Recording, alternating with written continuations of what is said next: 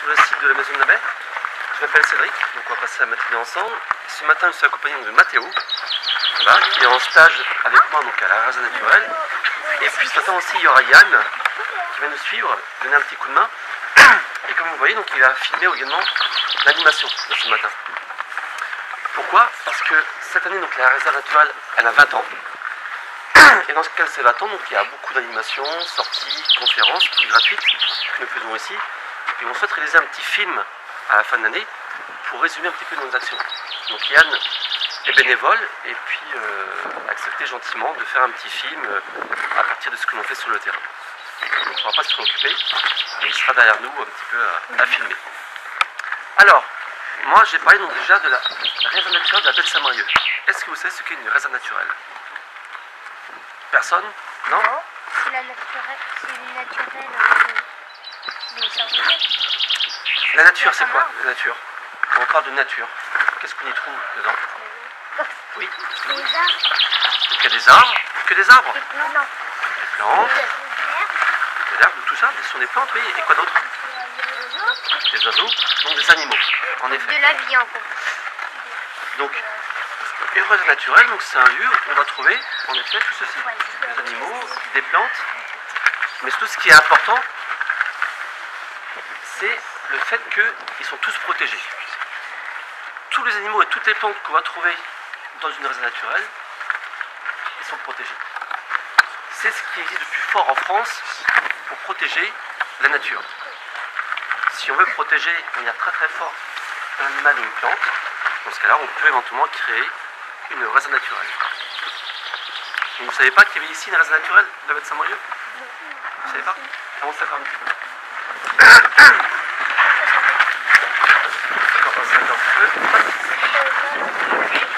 Donc vous êtes tous de Coufragan De votre côté Saint-Marieux sur la carte là. Donc sur la carte, vous êtes situé actuellement ici. Vous êtes ici. Quand vous regardez en face, vous avez là-bas Saint-Brieuc. La tour, c'est Saint-Brieuc, la grande tour à droite. Donc. Donc, ce que vous voyez devant vous, s'il vous plaît. Donc, ce que vous voyez devant vous ici, c'est inclus dans le territoire de la réserve naturelle. Tout ça, tout ce qu'il y a devant vous, là-bas, donc c'est un territoire qui est protégé. Ici, donc c'est protégé depuis 20 ans. Vous savez, tout à l'heure, quand j'ai dit, on fête les 20 ans de la réserve naturelle. Donc c'est un lieu de protection assez fort. C'est-à-dire donc ici, il y a des choses qu'on peut faire et d'autres choses qu'on ne peut pas faire. Des activités qui sont interdites ou réglementées. Ici, si il y a 20 ans on a créé une réserve naturelle, c'est grâce à une chose. Est-ce que vous savez un petit peu pourquoi ici on a souhaité créer il y a 20 ans une réserve? Un élément très très très important pour ici. Parce que à cause de la pollution, la planète elle est en danger. Il faut garder un peu de nature. C'est pas faux En effet, donc ici, il y avait des menaces. Il y avait des choses qui pouvaient être faites avant, et qui polluaient la baie de Saint-Brieuc. En face, il y avait une décharge en face. Ici, là. Donc des gens, il y a 40 ans, jetaient leurs déchets dans la mer. Des voitures, des machines à laver, du plastique, des bouteilles, tout ce qu'on voulait. Et là-bas, donc, il y a eu des tonnes et des tonnes de déchets qui ont été jetés en mer. Donc ici, il y a eu tout un espace qui a été gagné sur la mer. Et un jour, on a décidé, heureusement, de fermer cette décharge, de mettre de la terre dessus et donc de ne plus en parler. Mais les déchets sont restés. Les déchets sont toujours dans la terre. Donc ça, commence, ça, ça continue polluer également ici. Donc il y avait plusieurs décharges qui se créaient autour de la baie de Saint-Brieuc. Donc ça polluait un petit peu les eaux. Mais il y a aussi des projets encore plus fous qu'une décharge. Ici, il y a 40 ans, ce qu'il y a devant vous, on voulait faire un aéroport. Donc là, vous imaginez aujourd'hui, il n'y aurait pas eu d'eau, il y aurait eu des pistes aurait des pistes avec des avions qui décollent et qui atterrissent. Et il n'y aurait pas eu les avions. Ah, il n'y aurait pas eu les Olympiques. Et on ne serait pas là aujourd'hui, ensemble, pour parler de la de Saint-Brieuc. Et enfin, Il y a eu des personnes également qui avaient projeté de faire ici une grande digue, d'empêcher de la mer que la mer remonte, pour faire ici des cultures, par exemple, du maraîchage ou des cultures de type. Face à ces menaces, et des personnes se sont dit on ne peut pas laisser faire, notamment les habitants autour de Saint-Brieuc, Langueux, peut-être des personnes de notre famille, il y a, il y a 30-40 ans, se sont dit on ne peut pas laisser faire ceci en baie de Saint-Brieuc, car la baie de Saint-Brieuc est très très riche en oiseaux, en poissons, en plantes, elle, va être, elle est menacée. Donc ces personnes se sont mobilisées, ont commencé à faire des réunions pour dire à toutes les personnes des environs de la richesse de Saint-Brieuc. Ce n'était pas qu'une vaste zone vaseuse, ce n'était pas bon, c'était autre chose que ça. Donc ils ont fait des réunions, essayer de dire aux gens qu'il fallait protéger cette zone.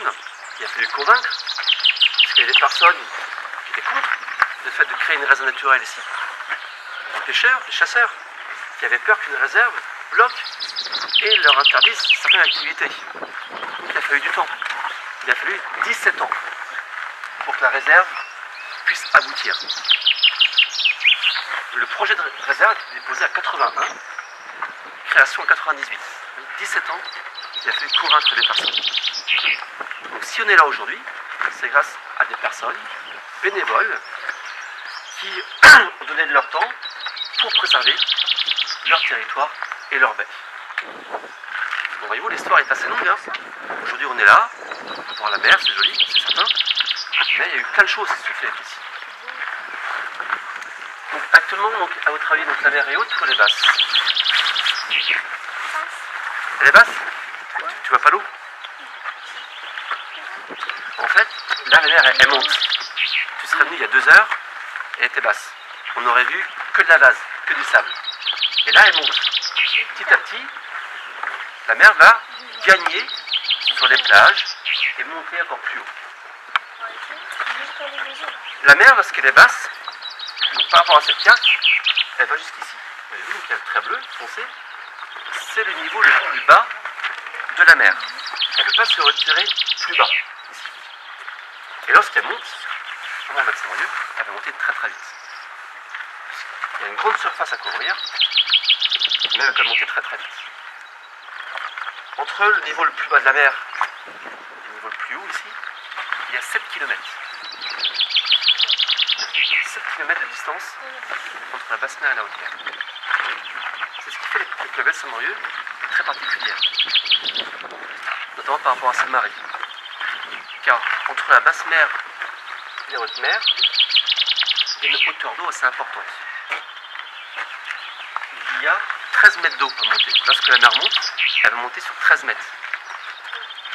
Si vous restez ici à marée basse et attendez que la mer monte jusqu'à son plus haut niveau, bah, il y aura la distance jusqu'au pain d'eau au-dessus de vous. Le pain qui est au-dessus de vous là. 13 mètres, ça, ça correspond à la hauteur de l'arbre qui est au-dessus de vos têtes. Ça veut dire qu'on va se noyer. avec- Ça veut dire qu'on va se Tu ne resteras pas là, bien sûr. Tu ne peux pas te noyer. Mais c'est pour montrer que l'eau, elle va, elle va bouger sur une hauteur de 13 mètres maximum en baie de Saint-Maurieux. La baie de Saint-Maurieux est l'une des 10 baies dans le monde avec cette grande hauteur d'eau. Ce qui fait que la mer, elle redescend très vite, monte très très vite. Donc, faut être méfiant lorsqu'on vient se promener en baie de Saint-Maurieux. Mais contrairement à la baie du Mont-Saint-Michel qui est beaucoup plus à l'est, ici c'est que du sable. Il n'y a pas de vase. Donc il n'y a pas de sable mouvant. Contrairement euh, à la baie du Mont-Saint-Michel. Est-ce que parmi vous, il y en a certains qui ont déjà traversé la baie ici, là Personne ne l'a fait Non? Il y a des personnes qui font des randonnées tous les ans, même des courses à pied, et qui traversent marée basse, bien sûr, la baie de Saint-Brieuc entre là où vous êtes, Lyon, et Saint-Brieuc. Oui, pas une enveloppe. Pas une enveloppe. En fait, ça, dans les pins, il y a des chenilles qui viennent pondre. On appelle ça des chenilles processionnaires. Et ces chenilles, elles- au-delà qu'elles mangent les aiguilles des pins, ça c'est pas très très grave, mais lorsqu'elles descendent de leur nid dans les pins, elles descendent en procession. C'est ce que ça veut dire, ça veut dire en procession. Et ils vont descendre les unes derrière les autres. Mais oui, moi j'en ai déjà Elles vont se suivre. Et là, Mais ça te donne des boutons au visage. par centaines. Et cette chenille processionnaire, elle a des poils très urticants. Urticants, ça veut dire quoi Ça pue. Qui piquent, urticants. Et si nous les touche, si vous les touchez, ou les chiens, ça peut nous gratter, ça peut donner des allergies. Et pire, et pire pour les animaux qui peuvent, qui mangent les chenilles, bah, si- s'ils les mangent, ils peuvent faire une allergie. Et euh, au niveau de la gorge, ils peuvent ne plus respirer, ils peuvent mourir. C'est très rare, très très rare, ça peut arriver. Donc ça, c'est un piège.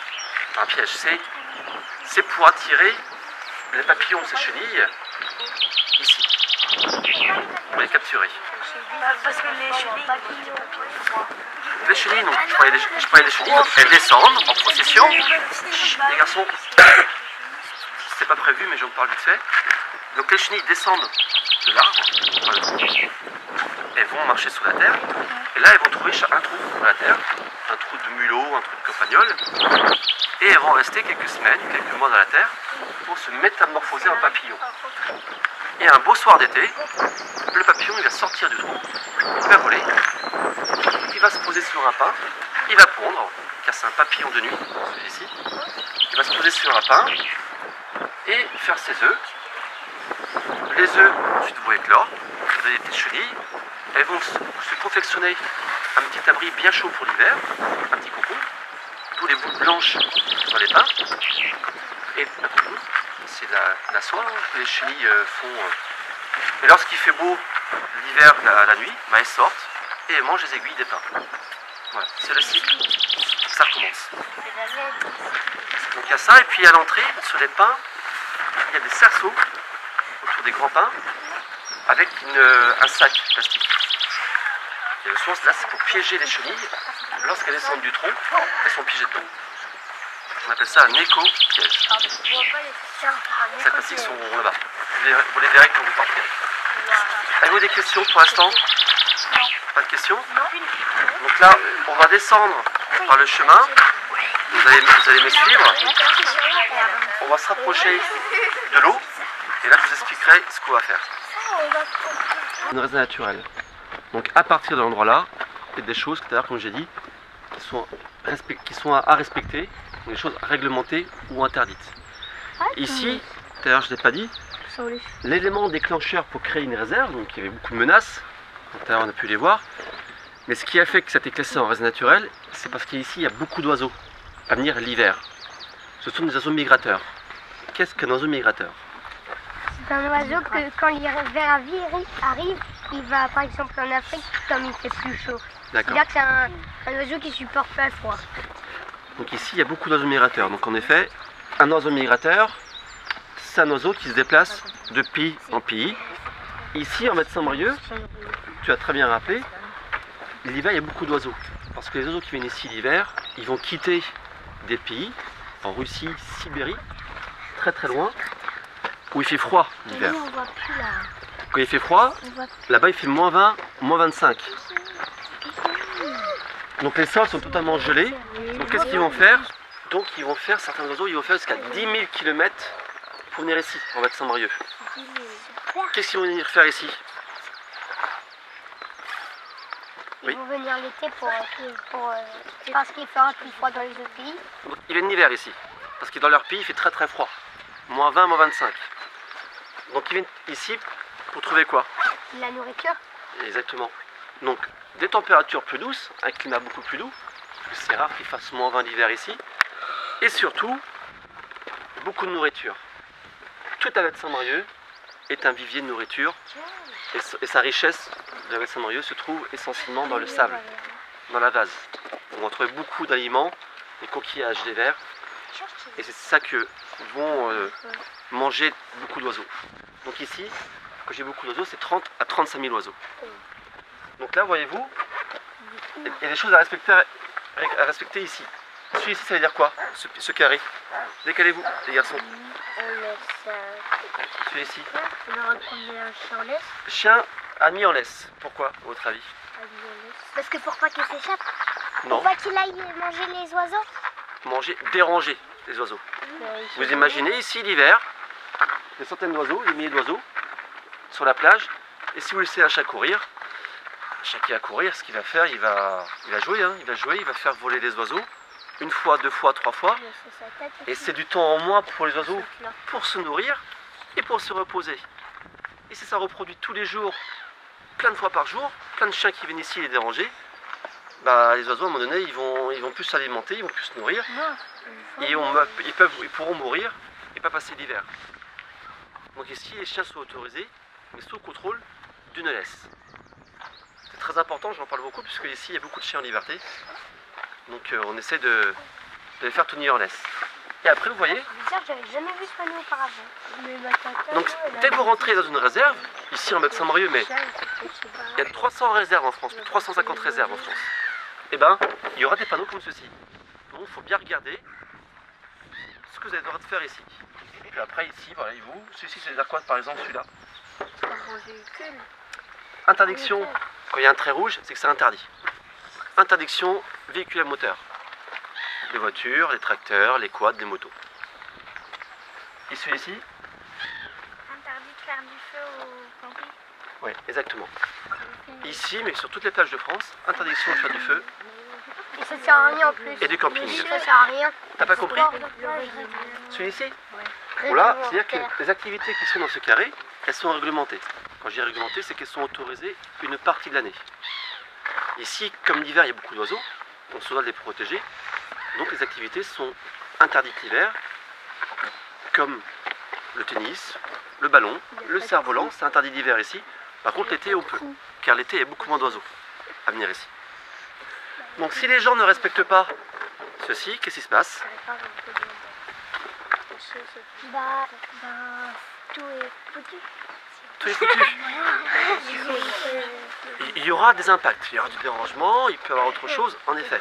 Ça, ça peut être bien pour la nature. Ils seront virés de la plage. Déjà, ils seront euh, gentiment, euh, pas virés, mais on va ah, euh, freiner donc leur activité, on va arrêter leur activité, en effet, et puis s'ils ne sont pas compris, en effet, ils peuvent partir. Mais on ne peut pas en rester là. En fait, les personnes qui ne respectent pas, ben, on peut les verbaliser. Ça veut dire quoi verbaliser? Qu'ils n'ont plus le droit de revenir. Non. Ça veut pas dire ça verbaliser. Personne, euh, aucun de vos parents ne s'est déjà fait verbaliser sur la route? Une amende. Avoir une amende Exactement. Ah, Quand on dit les chiens, ils verbaliser, peuvent avoir une amende. verbaliser, c'est mettre une amende. Au chien, Donne-moi au 40. propriétaire du chien par exemple. Donc nous, comme vous pouvez le voir, ici on a des missions de police. Police de l'environnement. Les gens qui ne respectent pas ici les règles, en venant ici, on peut les verbaliser, leur mettre une amende. Un chien, il peut avoir 68 euros d'amende. Combien? 68 euros en liberté. Une moto qui vient ici, si on arrive à avoir le propriétaire, c'est 1500 euros. 500 euros. Faire un feu sur la plage ou un camping, c'est 100 135 euros. Mais après, les gens, en venant ici, ils sont supposés voir le panneau qui leur dit bah, ce qu'il n'y a pas fait, ce qu'il n'y a pas le faire. Donc, quand vous reviendrez ici, ou quand vous irez sur d'autres sites protégés, bah, si vous voulez visiter ce site, sachez qu'il y a des règles à respecter. C'est comme à l'école. Vous allez à l'école, vous avez aussi des règles à respecter. C'est comme ça, tout simplement. Si on veut protéger la nature, il faut bien émettre des règles. Est-ce que vous avez des questions? Pas de questions? Donc là maintenant, on va se rendre, on va traverser la plage, on va se rendre en face. Là-bas.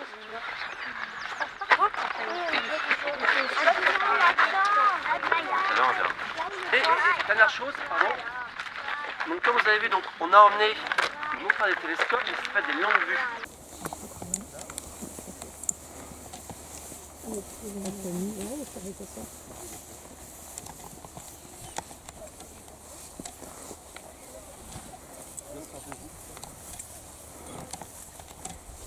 Oui, mais tu mais c'est c'est où Alors vous cherchez l'oiseau que vous vous avez vu à la longue vue, d'accord Vous regardez, il y a derrière aussi. Alors, tu- voit as loin. Ça, dans- on voit un trop bien. Courlis, cendré. Voilà, tu laisses la place aux autres moi j'en ai vu un. Moi j'ai regardé ça. Moi j'ai regardé regardes. Alors, ça s'appelle une aigrette. Garcelle. Regarde. Alors, si vous voyez plus les oiseaux, vous dites peut-être que la longue vue a bougé. Hein.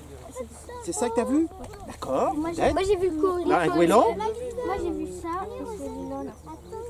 Les deux. Ah, vous regarderez aussi. Hein. Moi j'ai vu celui-là. Ah, il y a- il y a- Celui-là, alors celui-là peut-être je pense pas. Peut-être. Hein. Regardez. Peut-être, peut-être. Là. Ah, Il y a derrière aussi, hein, il y a des photos derrière. Trouvé lui, on a trouvé lui aussi, la, la mouette rayeuse. Oui, il y a une mouette Je l'ai trouvé, je l'ai Là, trouvé sur l'eau. Alors je vais regarder. Non, non, je vous laisse. Ah ouais, un coin Oui, alors, regarde, ouais, t'as raison. Très bien. C'est celle-là. Très bien. Avec la même tête. Elle est là. la mouette rayeuse. Ah, il y a des oiseaux qui volent là. Ah, Moi, je, vois- je vois une décharge de pneus. Nous on a vu Il y, a celui-là. des, il y a des pneus à traîner dans le fond. là. Celui-là, il est beaucoup trop grand. On a vu, vous avez vu. euh, Comme ça là, comme ça là. Non, parce qu'on a vu un manche. Regarde, moi j'ai vu celui-là. Alors, après, vous regardez après pour coup, vous vous baissez. Mais on voit rien. Mais c'est normal qu'il Mais Ah non, on a pu Arrêtez dérégler. de- mais- Bah, c'est pas grave, c'est pas grave, je vais re-régler. Attendez, reculez. Mais, mais arrêtez de bouger. C'est pas grave, c'est pas grave. Stop, Je le bougeais. C'est pas grave. stop. Alors, Mathis, stop. Oui. Je l'ai pas bougé. J'ai bougé parce que. alors après, quand on aura vu bien là, on cherchera d'autres oiseaux ailleurs. Voilà, à qui n'a pas vu Ah, elle a encore plein de On a encore trouvé un Hervé Aigrette, d'accord. Tu vois toujours Attends, je regarde si ça n'a pas bougé. J'ai cru le voir. je te laisse. Trois.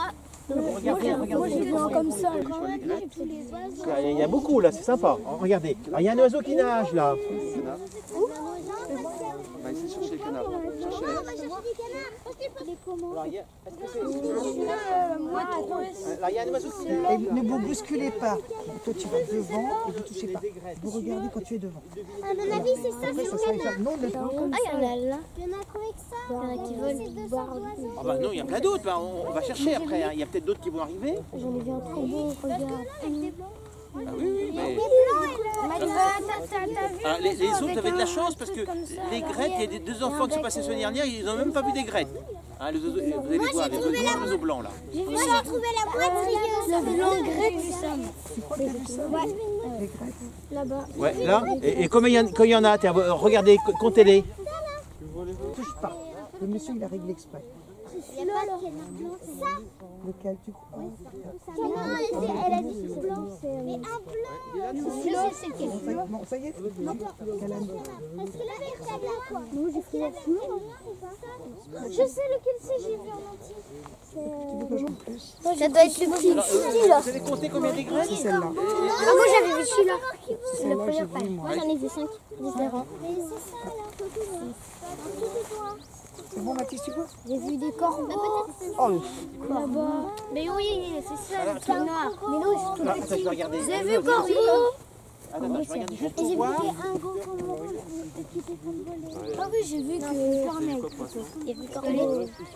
vas-y, j'ai vu celui-là. Euh, Bah moi j'ai vu corbeau. C'est euh, un autre. Il est noir et gris. blanc. Non, mais ça. Non, mais c'est ça. Non plus. J'ai vu tout là-bas. C'était regarde de ce côté. Regarde maintenant. C'est c'est ça. C'est celui-là. Alors, est-ce que vous voyez l'oiseau qui a un long bec Et- et Tu vois toujours Alors, essaye de le trouver. Alors. Le à deux On a trouvé le corps des cendrés. peut-être. Corli corli. Non, c'est ça. J'ai trouvé. Celui-là, le corli cendré. Alors, c'est par là plutôt. Léo, Léo, est-ce que vous avez trouvé le Mathis cendrés Le courlis cendré. Alors, vous avez quoi qui mangeait J'écoute derrière. Le courlis. Le ver marin, en effet, oui. Donc, vous avez vu le bec du courlis, comment il est Assez long vers le bas. Donc le ver qui mange, le ver marin, en fait c'est celui-ci. Oh, il est gros. Il s'appelle l'arénic- l'arénicole. La photo est agrandie. Est. En fait, le ver marin, si on, si creuse dans la vase, on va le voir, mais il y a surtout des indices à la surface de la vase qui nous permettent de l'identifier. D'un côté, il y a. Comment on appelle ça? Non, c'est pas un trou ça. A un tortillon, et de côté, il y a un trou. Parce que ce ver marin, ce ver marin, donc la rénicole, il fait une galerie dans la vase, dans le sable, en forme de U. Donc dans ce U, il est présent. D'un côté, il va filtrer l'eau, va manger le plancton. En mangeant ce plancton, il va aussi aspirer du sable, qu'il va ensuite recracher par son anus de l'autre côté. Ça fait un tortillon de sable. Je suis sûr que vous avez déjà vu ça, les tortillons de sable. Bien, tu vois ce tortillon, c'est-à-dire que dessous, il y a un ver qui vit. Un tortillon, en principe, ça correspond à un ver. Donc le courrier avec son bec courbé vers le bas, bah, il, a- il peut mettre le bec dans la galerie Alors, le verre, chercher bec le verre, et le ressortir et le manger.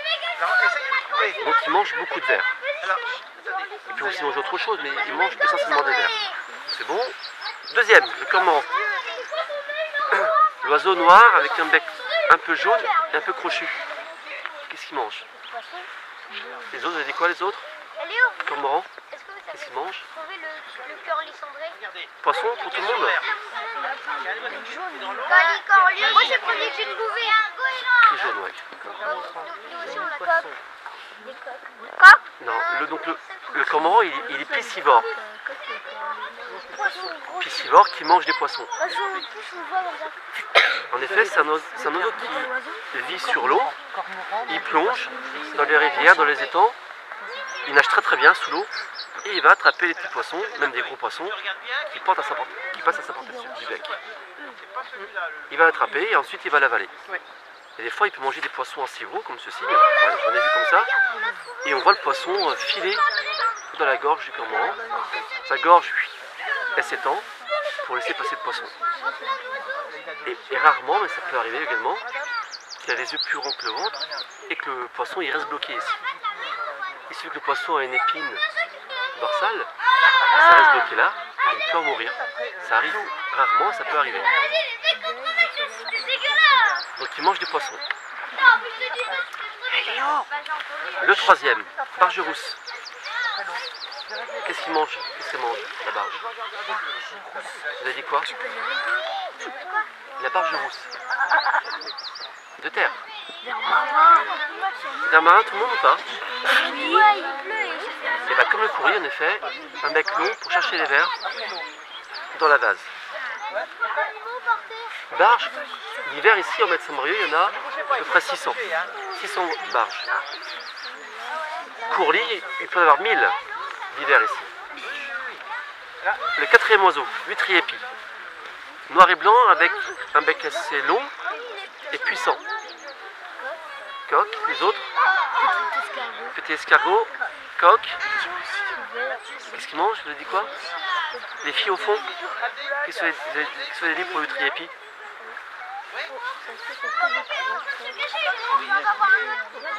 Vous avez dit quoi Et vous Coq et vous Pour l'utriépi Mais non, on a barré. pourtant c'est tout Donc petit escargot et coq. Ouais. Ouais, c'est ce qu'on a mis, hein. Ok. Donc c'est la réponse c'est les coqs. Que les coques. Que les coqs. Pas les escargots. Hein. Que les coques. Alors, À votre avis, est-ce qu'un utriépi mange des huîtres? Ah non, non, non. Les autres, est-ce qu'il peut manger des huîtres de variété, quoi. Malgré son nom, il mange pas d'huîtres. C'est trop dur pour casser une huître. Mais les coqs, il n'y a pas de souci. Il va soit les casser avec son bec pour manger à l'intérieur, ou soit il va les manger directement, entièrement. Et dans lui, il y a un muscle qui s'appelle le gésier. Et ce gésier, il va casser les coques facilement. Donc il mange, de toute taille. hein. Et il peut manger entre 200 et 300 coques par jour. Et l'hiver, ici, il y a 3000 métriépis. 3000 qui mangent allez, au maximum 300 coques pendant 150 jours. Ah, puisqu'il reste tout l'hiver ici. Donc ça fait quand même beaucoup de coques au final. Et si on sait qu'ils mangent autant de coques, parce qu'il y a des personnes, des chercheurs, des scientifiques, qui l'ont étudié de près et qui ont étudié ce qu'ils mangeaient, son régime alimentaire. Voilà, il y a- il y a une méthode toute simple, c'est euh, on ré- on récupère les caca des oiseaux, ce qu'on appelle les fesses ou excréments, et grâce à ce qu'on regarde dedans, dans le caca, on peut savoir déjà ce qu'ils mangent et quelle est la taille des coques qu'ils mangent. Parce qu'une coque, ça a deux coquilles. Ça a deux coquilles. Et euh, entre les deux coquilles, il y a ce qu'on appelle une charnière à l'intérieur. Que nous on mange, ouais. Lui, il peut tout manger. hein. Il peut tout manger. Il mange la coque. Et dans, le- dans, les- dans le caca de l'oiseau, on peut trouver ce qu'on appelle la charnière entre les deux coquilles. Et la- en fonction de la taille de la charnière, on connaît la taille de la coque. Et on sait que voilà, préférentiellement, il va manger euh, des coques euh, autour de 2 cm. Enfin, le canard blanc, un peu noir, un peu marron, ce qu'on- appelle le tadant de belon. Qu'est-ce qu'il mange lui? En effet, lui avec son bec plat, il va tamiser la surface de la vase. Il va manger ce petit escargot qu'on appelle un hydrobie. Bon là il est gros, hein. En réalité, il fait 4 mm. Tout petit. Et on en trouve jusqu'à 10 000 petits escargots sur 1 mètre carré sur la vase. Donc lui, il va tamiser avec son bec à la surface de la vase et manger beaucoup d'escargots. Non. Il n'inspire pas. Comme il a un petit bec plat, il va aller de gauche à droite sur la vase et manger tout ce qui est à la surface. Il va manger des algues aussi, mais aussi beaucoup d'escargots. Tout à l'heure, les canards qu'on a vus, quand on s'est arrêté là-bas, les canards colverts, ils mangeaient des algues. Des des têtes noires Donc tout ça pour vous dire, vous avez pu voir qu'en fonction de leur bec, bah, ils ne mangent pas la même chose. Et, pour ce que vous avez vu aujourd'hui, ça marche pour tout le monde. Tous les oiseaux, ça marche comme ça. Donc voyez-vous, c'est pas si compliqué que ça, une fois qu'on commence à travailler un petit peu dessus, de supposer ce qu'ils peuvent manger. Pour vous montrer également, là c'est quelques oiseaux, mais il y a encore plus que ça l'hiver ici. Si on trouve oiseaux c'est à a parce qu'il y a beaucoup de nourriture dans le sable, dans la natte. S'il n'y a pas autant de nourriture, on n'aura jamais autant d'oiseaux ici. Volent. Qu'est-ce qu'il pourrait faire qu'il n'y ait plus de nourriture ici en Mont-Saint-Marieux Que demain, tous les vers, les coquillages disparaissent. Ça, ça- ça pourrait être dû à quoi. Oh, je pense pas, non. Il y aura toujours des, une ressource. Il y aura toujours des coques ou des vers ici. Ah, il s'est posé. Même si on fait une. Même si on pêche beaucoup, qu'est-ce qu'il pourrait faire que demain il n'y ait plus de coques, plus de vers ici Sur la montagne. À votre avis Vous savez pas Justine. La population. Ah, j'en pense. Je pensais qu'elle allait dire mot. Je t'écoute, ouais. La pollution, exactement. La pollution. Donc tout ça pour vous, vous montrer, pour rester encore assis deux minutes.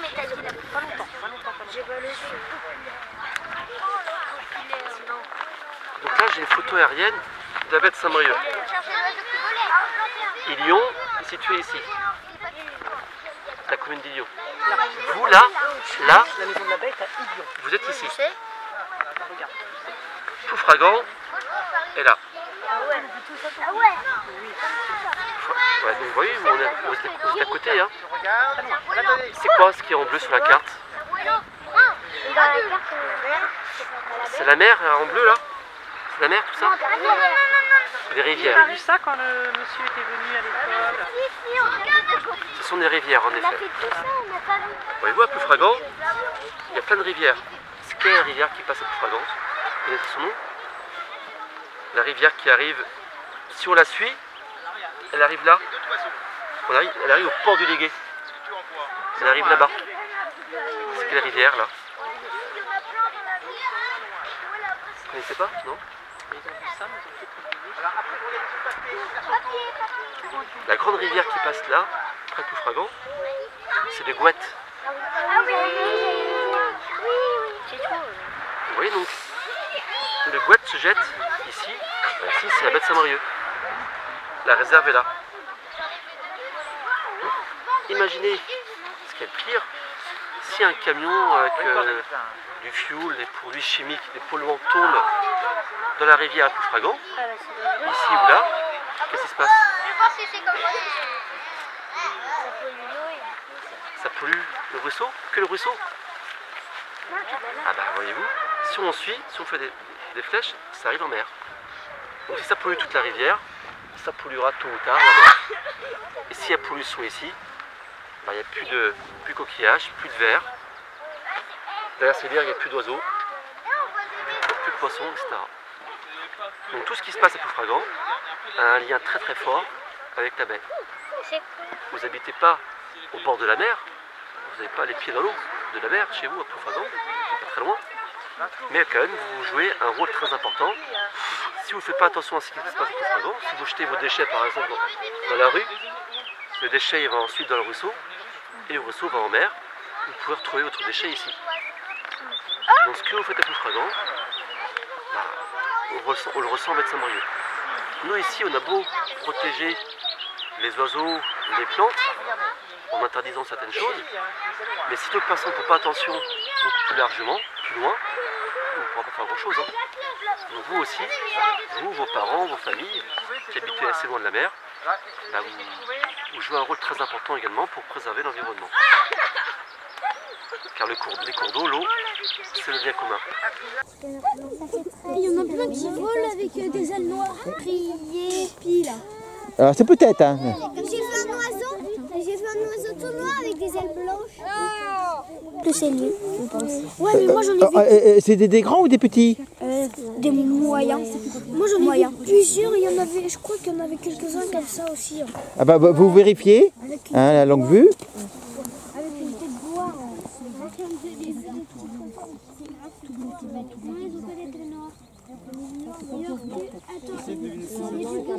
J'essaie de les mettre sur les moindrieuses. Ouais, tu veux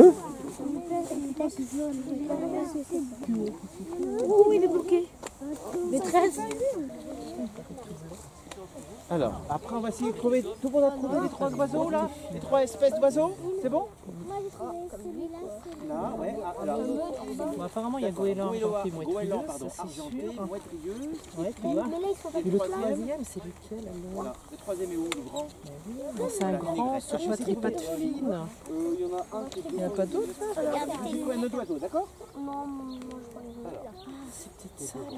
Non, pourtant, les grettes, elle a une huppe sur la tête.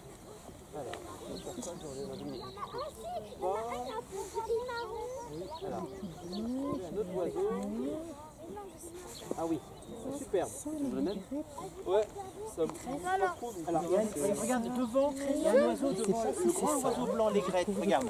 Ah bah voilà, c'est ça, c'est les grettes. euh, là. Ah bah voilà, les grettes garzette. Ah bah je suis pas si mauvaise. Ah, bien Euh, euh, Vous n'allez pas redoubler. Ah, je vais essayer de trouver un autre oiseau. Attends. Ah. Noir avec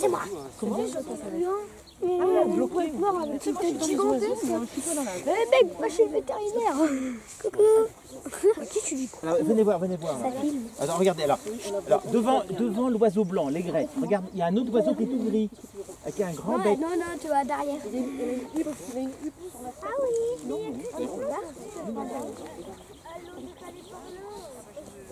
Alors, est-ce que tu as vu l'oiseau gris? Attends, est-ce que d'abord, est-ce que c'est réglé sur euh, ça passe? nous, tu crois de Oui, toujours là. Ah, mais faut vraiment qu'il regarde. Voilà. Tous sont contents. Ils avancent. Hein. Tu les vois qui avancent Pas Là, viens. Loin. Alors là, qu'est-ce que ça donne? Est-ce que tu vois? Alors. Ah oui, vous avez fait le grec. Oui, Mais la maîtresse, elle a. Mais je je le rêve. Je l'a fait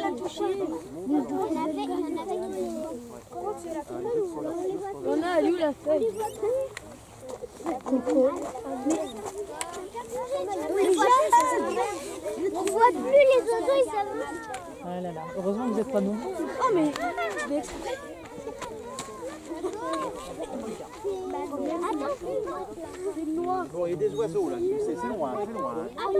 Ah, il y en a qui arrivent là. Ah, ah, ah, ah. Attends, je vais, je vais les. Ceux-là, ils sont pas loin, ceux-là. Vous avez visé les canards en plus. Là-bas, là. Là-bas, tu vois. Après moi. Ah, ils sont Ah, regarde, t'essayes de. Ah, c'est des... Ils sont plus près ceux-là. Il y en a qui viennent d'arriver. là.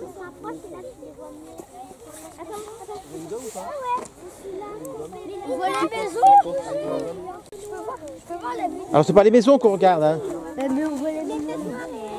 Alors, euh,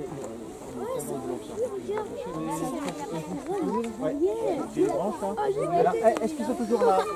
Je vais regarder. Alors, on va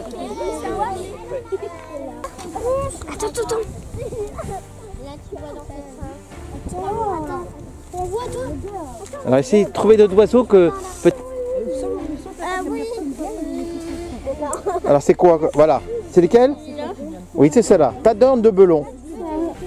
Tu essayes de trouver des oiseaux.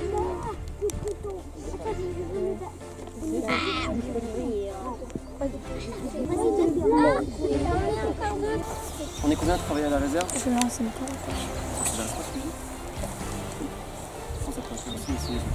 Moi, on est trois à travailler. On fait des comme ici les oiseaux c'est très important. On fait des comptages d'oiseaux tous les 15 jours. Donc 24 fois par an, on fait des comptages d'oiseaux. On procède de la même façon que vous tout à l'heure. On a une longue vue, on se positionne dans quelques endroits autour de la baie et on compte tous les oiseaux, espèce par espèce. Donc on a un petit compteur, peut-être certains tout à l'heure l'ont vu. Dès qu'on en voit un oiseau, photo, on coche. Et après on lit. On a combien? 12. Donc on utilise ce compteur pour compter précisément les oiseaux. C'est pour suivre un petit peu leur population tous les ans. Ici on protège, on fait des études, des inventaires, comprendre. Ce qui vit autour de nous. Ok. Vous suivez?